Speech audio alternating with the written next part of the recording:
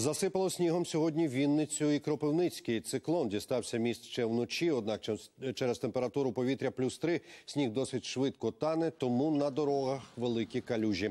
Через погіршення погоди сьогодні у Кропивницькому увімкнули опалення в лікарнях та в дитячих будинках. У школах скасували заняття.